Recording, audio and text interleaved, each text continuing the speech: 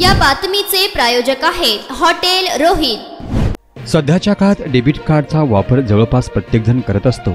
आता एकतीस ऑक्टोबरला एक सरकारी बँकेचं डेबिट कार्ड हे बंद होणार आहे.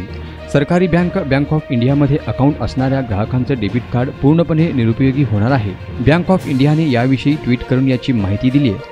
एकतीस ऑक्टोबरनंतर ग्राहक त्यांच्या ए टी एम कार्डमधून कोणताही व्यवहार करू शकणार नाहीयेत किंवा पैसेही काढू शकणार नाहीयेत. बँक ऑफ इंडियाने ट्विटमध्ये लिहिलं आहे की प्रिय ग्राहक रेग्युलेटरी गाईडलाईन्सनुसार डेबिट कार्ड सेवांचा लाभ घेण्यासाठी व्हॅलिड मोबाईल नंबर अनिवार्य आहे. बँकेने ग्राहकांना विनंती केली आहे की त्यांनी कृपया त्यांच्या शाखेला भेट द्यावी आणि डेबिट कार्ड सेवा बंद होऊ नये म्हणून एकतीस ऑक्टोबर दोन हजार तेवीस पूर्वी त्यांचा मोबाईल क्रमांक अपडेट रजिस्टर करावा लागेल.